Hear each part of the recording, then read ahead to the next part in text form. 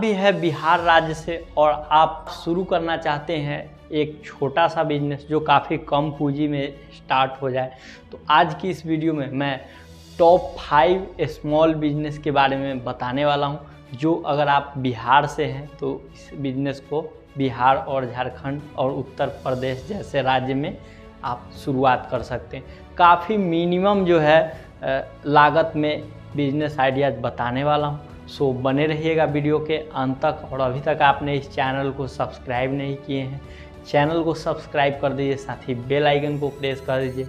चलिए शुरू करते हैं आज के इस नॉलेजबल वीडियो को। तो दोस्तों, बिहार में स्टार्ट की जाने वाली top five small business idea कुछ इस प्रकार से है। फ़र्स्ट नंबर पे जो है, वो हमारा आता है कृषि आधारित व्यवसाय।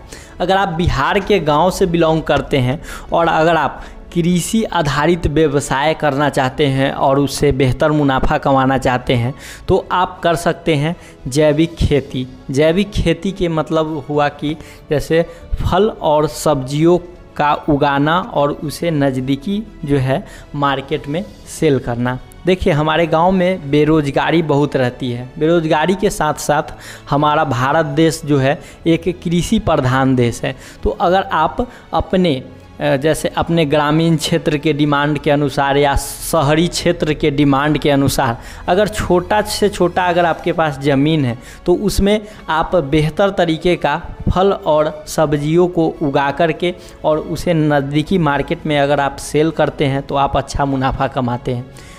दोस्तों, हम सभी लोग जानते हैं कि बिना जानकारी और बिना मेहनत के कुछ भी नहीं होता है।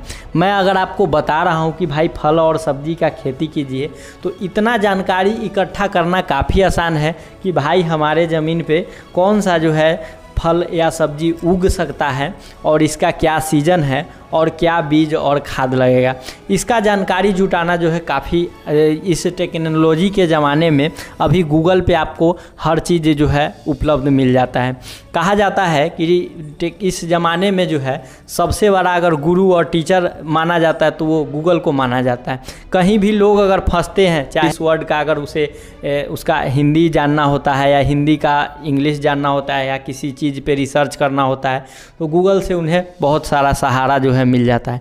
सो अगर आप अपने छोटे से छोटे ज़मीन पे जो है, अगर फल और सब्ज़ी जानकारी लेकर के उगाते हैं और उसे नज़दीकी मार्केट में सेल करते हैं तो आप जो है एक बेहतर जो है मुनाफा कमा सकते हैं और अपने बेरोज़गारी को दूर कर सकते हैं, अपना जीविका चला सकते हैं। नेक्स्ट जो है, वो है मुर्गी पालन। जैसे कृषि आधारित क्षेत्र में ही आ जाता है मुर्गी पालन और बकरी पालन जैसे कार्य। अगर अभी भी आप लोग गाँव देहात में ज़्यादातर देखते हैं मुर्गी फार्म और बकरी पालन का जो है, लोग ट्रेनिंग ले ले करके स्टार्ट करते हैं। वीडियोज़, बहुत सारा आप वीडियोज़ देख लीजिए, बकरी पालन के आधारित पे बहुत सारे यूट्यूबर लोग जो है वीडियो बनाते हैं। कैसे जो है बकरी पालन का जो है बिज़नेस स्टार्ट किया जाए, व्यवसाय स्टार्ट किया जाए, मुर्गी पालन का व्यवसाय कैसे स्टार्ट किया जाए। तो उन सभी चीज़ों को आप अपने अगर कृषि आधारित क्षेत्र में ही ये सब जो आता है, गाँव में है तो गाँव में अगर जगह है तो मुर्गी पालन और बकरी पालन जैसी व्यवसाय को आप शुरू करके एक अच्छा मुनाफा ले सकते हैं। दूसरा जो है हमारे बिहार के लिए, वो है फ़ूड प्रोसेसिंग यानी अगर आप गाँव में हैं और गाँव में अचार और जैम बनाते हैं मतलब स्थानीय उपज का उपयोग करके अचार और जैम जैसा प्रोडक्ट का निर्माण करते हैं और उसे एक बेहतर पैकेट बना करके और जो है आप मार्केट में सेल करते हैं तो आप एक अच्छा मुनाफा कमा सकते हैं। क्योंकि देखिए, अचार और जैम बनाना गाँव में कोई जो है बड़ी बात नहीं है। छोटा मोटा अगर नॉलेज लेना है तो वो वीडियो अथवा गूगल पे जाके नॉलेज ले सकते हैं। थोड़े दिन के लिए कहीं से ट्रेनिंग ले सकते हैं और स्टार्टअप कर सकते हैं। और बेहतरीन पैकिंग बनाने के लिए जो है अमेजोन से आप इस तरीके का ये पै, पैकिंग मशीन मंगा सकते हैं जो लगभग 1500 से 2000 के बीच में आ जाएगा और इसका बेस्ट सीलिंग आता है।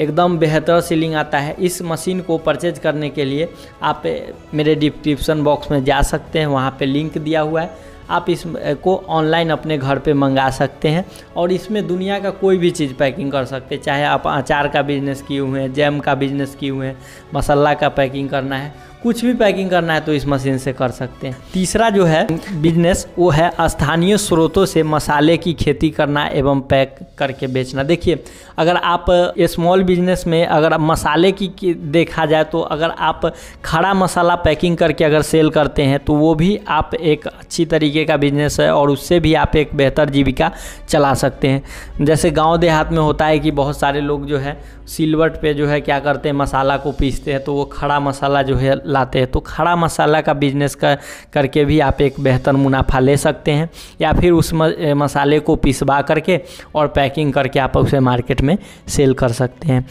चौथा जो भी हमारा बिज़नेस है, वो है हस्तशिल्प और कारीगर वस्त्र। देखिए, अभी क्या हो रहा है, हमारे बिहार में जो है मिथिला पेंटिंग काफ़ी फ़ेमस है। ऐसे में अगर आप पेंटिंग में रुचि रखते हैं तो ये बिज़नेस आपके लिए काफ़ी बेस्ट साबित होगा। क्योंकि देखिए वो को होता है ना कि अपना कलाकारी सिद्ध करके वो जो है अपने मुनाफा को इनक्रीज करते हैं। तो अभी क्या है अभी ऑनलाइन का ज़माना है। बहुत सारे वेबसाइट है अमेजोन फ्लिपकार्ट मीशो इस तरीके का बहुत सारा वेबसाइट है जहाँ पे आप अपना कलाकारी करके अगर आप बिहार से हैं अगर आप पेंटिंग जानते हैं या फिर ए, कोई अच्छा वस्त्र बनाना जानते हैं या फिर मिट्टी का खिलौना बनाना जानते हैं तो उस तरीके का खिलौना बना के और उसे ऑनलाइन डिजिटली ज़माने में ले जाके, जैसे मीशो और अमेजोन फ्लिपकार्ट जैसे वेबसाइट से जुड़ करके आप बेहतर मुनाफा ले सकते हैं। तो ये सब जो भी मैं बिज़नेस आइडिया जो दे रहा हूँ, ये काफ़ी कम मिनिमम पूंजी में स्टार्ट होने वाला है। एंड्रॉयड फ़ोन के दाम में जो है, अभी लोग क्या करते हैं कि डेढ़ डेढ़, दो दो लाख का जो है क्या करते हैं फ़ोन परचेज कर लेते हैं। तो उससे कई गुना कम में जो है आप इस तरीके का जो है बिज़नेस स्टार्ट करके अपने जीविका को चला सकते हैं। हमारा लास्ट जो है, ये काफ़ी इम्पोर्टेंट है बिज़नेस और ये खास करके उन महिलाओं के लिए है, जो महिलाएँ जो है, वो हाउसवाइफ है मतलब गृहिणी है, उनके लिए पार्ट टाइम में ये काफ़ी बेस्ट है। देखिए, इसमें जो है, ये रुई बत्ती का बिज़नेस है। रुई बत्ती के बारे में तो आप लोग जानते ही है कि अभी इसका डिमांड हर घर में है। हर घर में या हर पूजा त्यौहार में क्या हो है, कि दीप ज़रूर जलाया जाता है। तो उस अनुसार से हमारे भारत के पारंपरिक जो है संस्कार को बनाए रखने के लिए जो है कितने भी लाइट आ जाए, लेकिन दीप जो है वो लोग जलाते ही हैं, चाहे पूजा त्यौहार हो या घर में शाम के समय जलाना हो तो वो जलाते हैं। वैसे में रुई बाती का निर्माण अगर गाँव में करते हैं या बिहार की महिलाएँ इसे स्टार्ट करते हैं तो काफ़ी अच्छा मुनाफा कमा सकते हैं। इस बिज़नेस को स्टार्ट करने के लिए दो टाइप की मशीन आती है। और इस बिज़नेस को पूरा डिटेल में समझने के लिए अगर आप चाहते हैं तो इसके ऊपर मैं एक वीडियो बना चुका हूँ, जिसका लिंक डिस्क्रिप्शन बॉक्स में है। आप जाइए उस वीडियो को देखिए और समझिए कि इस रुई बत्ती बिज़नेस को कैसे स्टार्ट किया जाए। उस बिज़नेस वीडियो में, उस वीडियो में ये भी बताया गया है कि आप रुई बत्ती मशीन और उसका जो रॉ मटेरियल होता है, यानी रुई होता है, वो आप कहाँ से परचेज कर सकते हैं और कहाँ विज़िट कर सकते हैं। तो जाइए उस वीडियो को देखिए और जो है आप एक बेहतर बिज़नेस जो है स्टार्ट कीजिए अपने गाँव के लिए। मैं टॉप फाइव बिज़नेस आपको बता दिया हूँ, जो आप अपने रुचि के अनुसार और आप अपने कलाकारी के अनुसार इसे स्टार्ट कर सकते हैं। तो दोस्तों, आज की इस वीडियो के माध्यम से मैं आपको टॉप फाइव स्मॉल बिज़नेस के बारे में बताया हूँ, जो कि अगर आप बिहार में इसे स्टार्ट करते हैं तो आप एक अच्छे खासा मुनाफा कमा सकते हैं। साथ ही आगे मैं आपको किस तरीके का बिज़नेस के बारे में बताऊँ, आप कमेंट में ज़रूर लिखिएगा।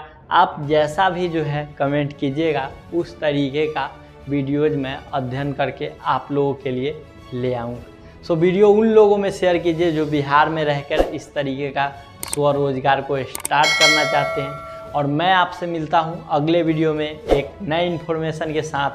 तब तक के लिए जय हिंद, वंदे मातरम।